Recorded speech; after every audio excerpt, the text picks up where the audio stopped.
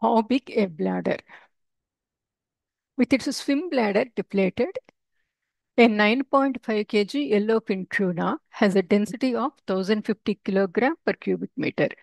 It is swimming near the surface of the ocean. What volume of gas must the fish have in its swimming bladder to achieve neutral buoyancy?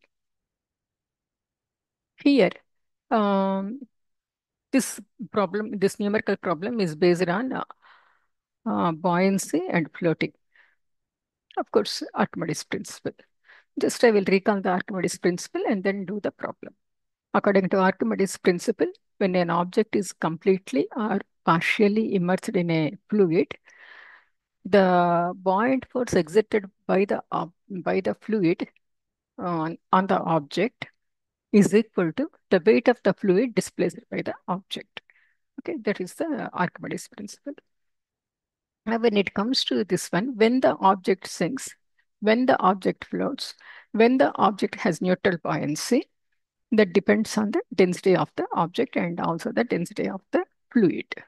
Here in the first case, um, when you immerse the, when the object is immersed uh, either partially or fully into the liquid, it sinks if the weight of the object is uh, greater than the uh, fluid displaced, weight of the fluid displaced by the object. That means the density of the object is greater than density of the fluid. In the next case, when the weight of the object is less than the weight of the fluid displaced, then uh, the object floats. That means the density of the object is less than the density of the fluid. Suppose if the weight of the object is equal to the weight of the fluid displaced, then um, uh, then, then what happens uh, when the weight of the object is equal to the weight of the fluid displaced, then the buoyant force is equal to weight of the object. Okay. In this case, the density of the object is equal to density of the fluid. Then the object is in neutral buoyancy. That means it, it neither floats nor sinks, but it will be hanging in the fluid. Okay. Now, when it comes to the fish, what happens? The fish has the uh, density of uh, 1050 kilogram per cubic meter. Okay. But when it comes to the density of the fresh water or the seawater, I give the density of the fresh water. Density of water is equal to fresh water. If you want, I write fresh water. Okay. Density of the fresh water is a thousand. Fresh water is equal to 1000 kilogram per cubic meter. Whereas the density of the sea water is equal to 1050, uh, 1030. Am I right? 1030 kilogram per cubic meter. Obviously, if you see this one, the density of the water is less than the density of the fish. So what happens if the density of the fluid is less than the density of the object, then the fish will sink. This is the case. So here, this is the density of the uh, fish. See, density density of the fish is equal to 1050 kilogram per cubic meter. That indicates that this is the density of water. So rho fish is greater than rho water. Am I right? Whatever may be the water, it is, whether it is the fresh water or the uh, sea water, it is uh, greater than the uh, the water the, the density is less than the fish density. Okay, so obviously the fish will sink. If the fish sinks, what happens? It will die. So it has to uh, so float. For that one, there is no spe uh, special uh, mechanism. The, the fish has no lungs. They have the sac, swim bladder. It is called the uh, gas-filled sac called the swim bladder. Okay, what happens? The fish will uh, fill this uh, uh, swim bladder with the gas and then uh, it uh, accordingly. That means whenever it has to go down, then it, it will uh, reduce the ga gases in the swim bladder. And then whenever it has to come to the surface then it will uh, increase the gases in the swim bladder. So that when the gases are more in the swim bladder the uh, fish will rise up. Okay? When the gases are less in the swim bladder then it goes down. That means the density changes for this, I give an analogy with the human body. Okay, just for the sake of knowledge. If you take the human body, each body component has different densities. For example, if you see the human body, the fat has the density of 0.9 kilogram per cubic meter. And then water in our uh, human bodies are made of fat, water, blood, muscle, bone. Am I right? So each component, body component has different densities. And uh, typically, the human body has the density of 1050 kilogram per cubic meter. So, when we fall into the water, that means, uh, suppose if we don't know how to swim, then what happens? Obviously, we will uh, submerge into the sink into the water, whether it is the ocean water or the fresh water. The density of the human body is greater than the density of the water. So the density of the human body is also 1050. Okay, not only the uh, fish, human body density is also 1050 kilogram per cubic meter. So obviously, human body density is greater than the density of the water. So the uh, we will sink into the water. Okay, whether it is the um, sea or the um, uh, lake or the river. So what we have to do? Then we have to inhale the air. We have to fill our lungs full. Then we will float. That means the um, density of the uh, human body decreases if we fill the lungs with the water, with the air. Okay. Our lungs should be full with the air. That means we have to inhale as much as possible so that the body will float on the uh, water. This is how we can rescue ourselves. Suppose if we don't know how to swim, then uh, then also we can uh, rescue ourselves. We, we can save ourselves. Uh, till we get the um, uh, so, some uh, help from outside. Okay suppose if we don't know how to swimming and uh, accidentally we will, will be in water. Maybe it may be sea or sea water or river water whatever it may be. Okay. Then to save ourselves first what we have to do is we should calm down and then we have to fill our lungs with the air. Okay we have to inhale as much as possible so that we will be floating on the water. That means our densities will come down. Okay, so that when the lungs are full with the air, then the density will be rho uh, human beings. Okay, I write here rho human beings uh, full with the uh, air in lungs is equal to 990, one second, 990 kilogram per cubic meter. Okay. So this is less than the uh, density of the water. So we can easily uh, save ourselves. And one more thing is to check the fat content in the body, there is a rough method. Okay. Uh, what the people, the uh, doctors will do is first they will measure the weight of the person. Okay. And then next what they do is they will ask the person to exhale and then go into the water chamber. As much as possible, they have to exhale.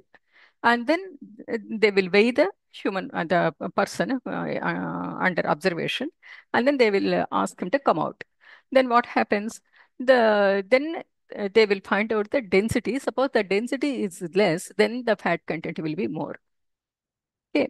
If the density is uh, greater than this one, uh, 0.9, then the fat content, the uh, lesser the uh, density, the higher the greater the fat content in the body. This is a rough estimate, I'm saying.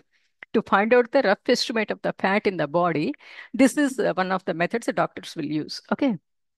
This is one thing. And then the uh, this is about the fish. So the fish will mm, fill the gas, this um, swim bladders with the gases, and then ocean fish uh, swim bladder take up to uh, 1 to 3% volume of the body, whereas the freshwater fish will take 3 to 5% of the 5% of volume of the body. Okay. And then um, what they do, uh, depending on the situation, the fish will uh, increase the content in the uh, swim bladder, the gases in the uh, uh, swim bladder. Okay, gases content in the swim bladder, and then they will move up and down. Of course, the pressure changes according to the pressure changes also. Okay. Now uh, we are supposed to find out the volume of the gas the fish should have to achieve neutral buoyancy so that it will it should not come, it should not float, it should not sink, it should just uh, balance uh, in the neutral buoyancy. That means it should be just in water. Okay. For that, we will calculate here the um, mass of the uh, fish is given to us. Mass of the fish. 9.5 kilograms. And then the density is given to us. Density of the fish. What is the density of the fish? Here they gave 1050. So this is the 1050 kilogram per cubic meter. Okay. Now based on this, we can easily find out the volume of the fish. Am I right? Volume of the fish is equal to, we know density is equal to mass per volume. Therefore, volume is equal to mass by density. So mass by density means 9.5 divided by 1050. Okay, so this gives 9.05 times 10 to the power of minus 3 cubic meters. Okay, this is the volume of the fish. Now, uh, we have the we have to find out the um, this one. This is uh, this one, and then volume of the uh, this is volume of the fish, and then we have to uh, this one. To achieve the neutral buoyancy, we have to the uh, find out the buoyant volume of the this one, what we call uh, the sac along with the sac. Okay, so that uh, I will calculate here. So 9.5 uh, divided by VB, that means when the this one is uh, full, the sac is full, then uh, plus uh, 9.05 times this one, volume of the times 10 to the power of minus fish P is equal to, uh, I will equate to the salt water, uh, this one, seawater, uh, density of the seawater. Then if we, I, if I equate it to the seawater, then what happens? Then uh, I have to find out VB, volume of the bladder. Okay, VB is the, I write here, VB is the volume of the bladder. volume of the bladder. Now I have to find out the volume.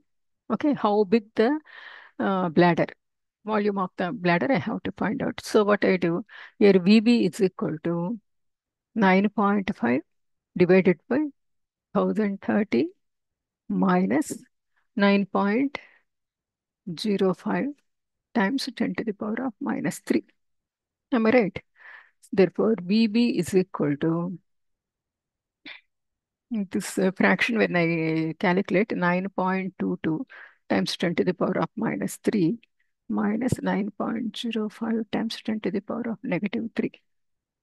Okay, so this gives an approximate approximate value of 1.722 uh, times 10 to the power of negative 3 cubic meters. Okay. That means it is approximately 2% of the fish volume.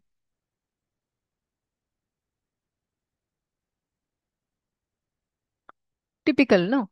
Generally, the seawater uh, fish, ocean fish will have the swim bladder uh, 1 to 3%. Okay. Therefore, it is, um, I suppose if it is the freshwater, 3 to 5% freshwater fish has the um, bladder volume 3 to 5%. Okay. This is the, sea, the seawater. For seawater fish, seawater fish, the bladder volume. Bladder volume will be 1 to 3% of the volume of the body.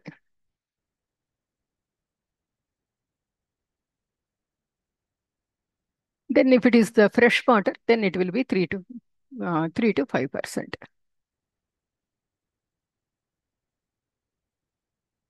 Okay. So the mm, bladder should be one the volume of gas. What volume of gas must the fish have in its swim bladder to achieve neutral buoyancy? Means this much of the volume. 1.722 times 10 to the power of negative 3 cubic meters. If the this much volume of the gas is uh, in the swim bladder, then the fish will be in neutral buoyancy. Hope this helps. Thank you. Bye bye.